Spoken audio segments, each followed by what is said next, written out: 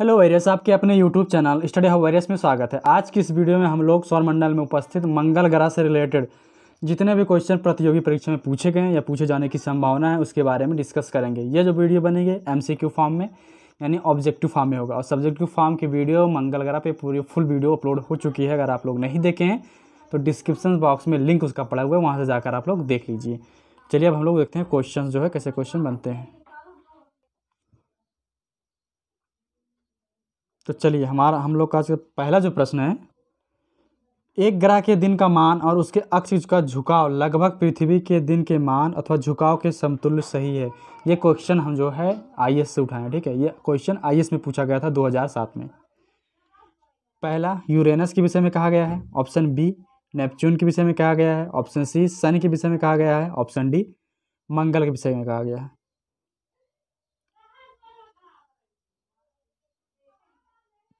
Uranus Arun को कहते हैं, नेपच्यून जो है वरुण को कहते हैं, ठीक है? अब चलिए देखते हैं इसका आंसर का। इसका आंसर ऑप्शन डी के साथ चला जाएगा, मंगल ग्रह के विषय में ऐसा कहा गया है। चलिए अगला प्रश्न हम लोग देखते हैं। अगले प्रश्न की बात करें हम लोग तो। मंगल ग्रह पर जीवन की उपस्थिति के लिए निम्नलिखित में से कौन सी ऐसी एक अवस्था सबसे सुसंगत है?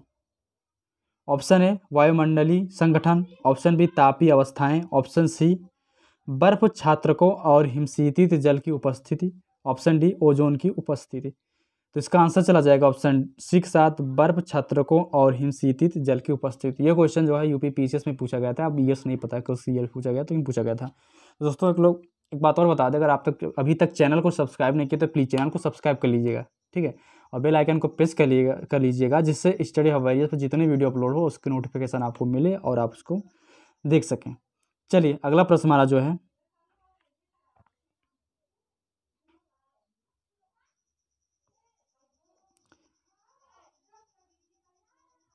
अगला जो हमारा प्रश्न है, किसमें पृथ्वी के अलावा, ठीक है किसे किस ग्रह में, पृथ्वी के अलावा अन्य जी अन्य जीवन की संभावना है? क्योंकि वहाँ का पर्यावरण जीवन के लिए बहुत ही अनुकूल है। ऑप्शन ए बृहस्पति, ऑप्शन बी मंगल, ऑप्शन सी यूरोपा, बृहस्पति का चंद्रमा, ऑप्शन डी चंद्रमा, पृथ्वी का चंद्रमा।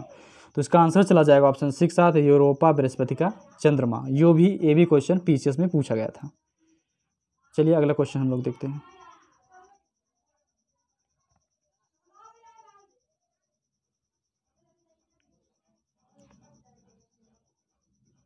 चलिए अगला जो हमारा प्रश्न है मंगल जो है सौर मंडल में सूर्य से दूरी के क्रम में कौन से स्थान पर स्थित है?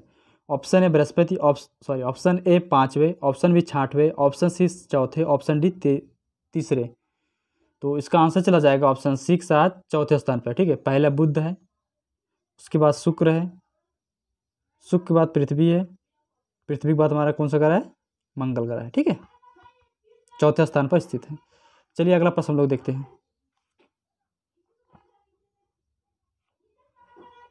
अगला जो प्रश्न है,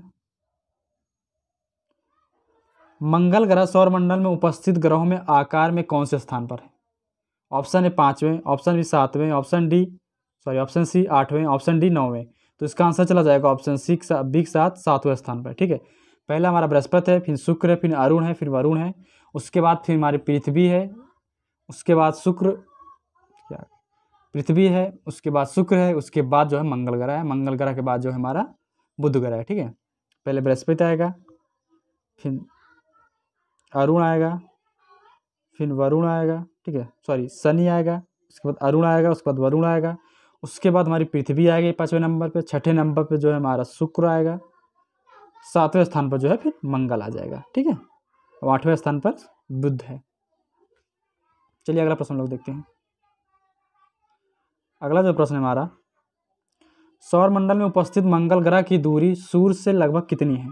ऑप्शन है चौबीस करोड़ किलोमीटर, ऑप्शन बी सत्ताईस करोड़ किलोमीटर, ऑप्शन सी बाईस दशमलव सात नौ करोड़ किलोमीटर, ऑप्शन डी बत्तीस करोड़ किलोमीटर। तो इसका आंसर चला जाएगा ऑप्शन सी साथ बाईस दशमलव सात नौ करोड़ किलोमीटर है।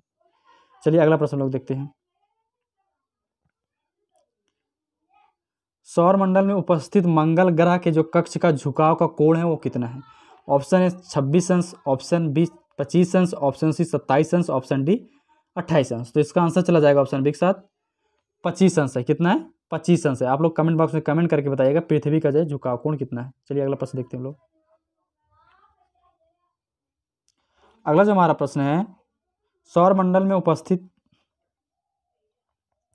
सौर मंडल में उपस्थित मंगल ग्रह अपने अपने अक्ष का जो घूर्णन है रोटेशन है, ठीक है रोटेशन वो कितने समय पूर्ण करता है रेगुलेशन करता है, कितने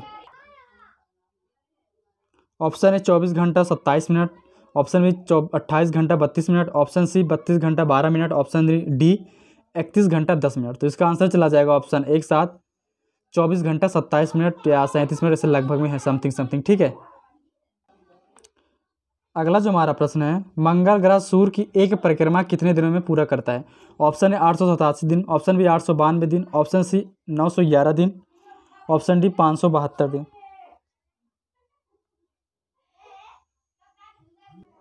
तो इसका आंसर चला जाएगा ऑप्शन एक साथ आठ सौ सतासी। ठीक है, आठ सौ सतासी नहीं, इस पर गलत लिखा है ऑप्शन छः सौ सतासी दिन लगता है। कितना? छः सौ सतासी दिन। ठीक है छः सौ सतासी छियासी दशमलव कुछ समथिंग समथिंग लगता है। ठीक है छः सौ छियासी दशमलव नाइन ठीक है, इतना दिन लगता है। चलिए, अगला हम लोग प्रश्न देखते हैं। अगला जो प्रश्न है,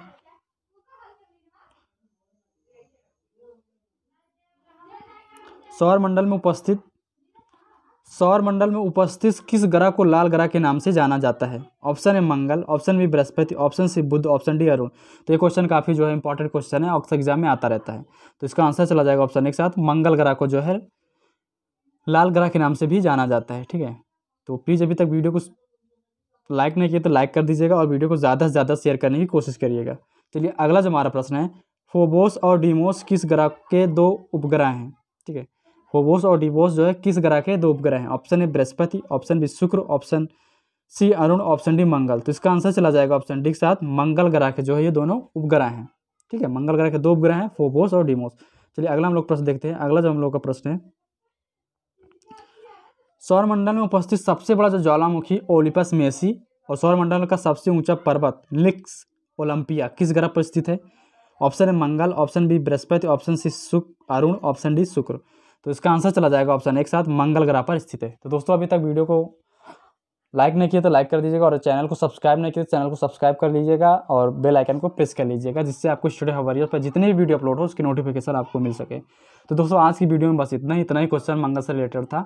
तो आपको वीडियो कैसे लगे कमेंट बॉक्स में कमेंट कीजिएगा और वीडियो को ज़्यादा ज़्यादा शेयर करिएगा। चलिए मिलते हैं नेक्स्ट वीडियो में नेक्स्ट टॉपिक के साथ। अब तक bye take care thank you best of luck